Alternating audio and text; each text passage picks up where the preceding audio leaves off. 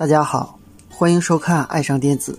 组装了一个 IGBT 驱动电路，用了四个三极管，这个做的比较粗糙。如果要用 PCB 板就比较好了。这个电路用了几个电阻，四个三极管，一个电容，一个五伏稳压管。我们看一下它的波形以及供电。好，我们测一下它的供电，这端是接地。我们量一下它的供电，供电是二十点四伏。IGBT 模块的驱动电压我们量一下，我们看它是在正电压和负电压之间转换的。下面我们用示波器测量一下，我们看用示波器就比较直观了。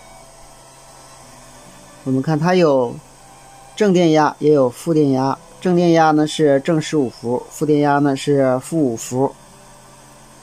波形是非常标准的，这是一个五十，这是一个一赫兹的方波。下面我们把它的频率改一下，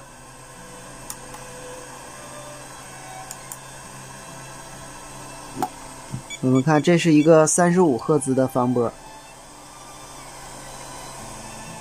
三十二赫兹，同样波形非常的标准，说明这个驱动电路是非常好的。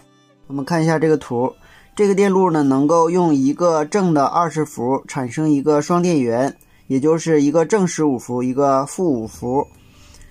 它用了一个五伏的稳压管儿，它的供电是二十伏，前边是 MCU 送来的信号，经过这个光耦耦合，把信号加到这个三极管的基极，当光耦导通的时候，这个三极管基极为高电位，这个三极管导通。